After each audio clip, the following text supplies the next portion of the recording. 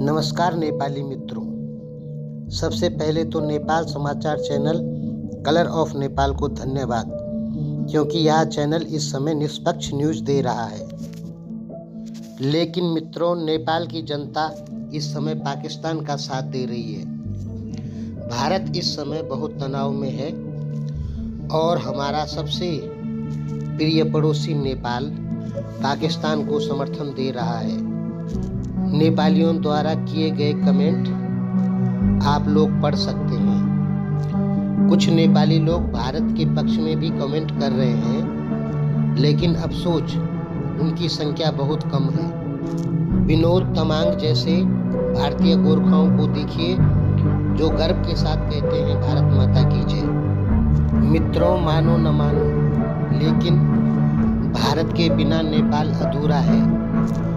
बुरा हो या भला, लेकिन अंत में भारत ही नेपाल के काम आता है और हमेशा नेपाल के साथ खड़ा रहता है। नेपाल के द्वारा आतंकी देश पाकिस्तान को समर्थन करना, ये बहुत अफसोस की बात है। क्या पाकिस्तान और भारत आपके लिए बराबर है?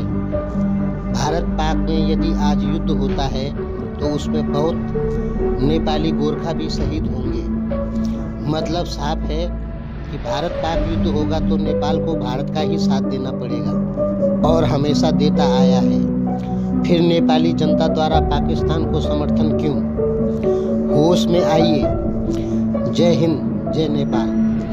भारतीयों को जय नेपाल बोलने में कोई प्रॉब्लम नहीं है। लेकिन नेपालियों को जय हिंद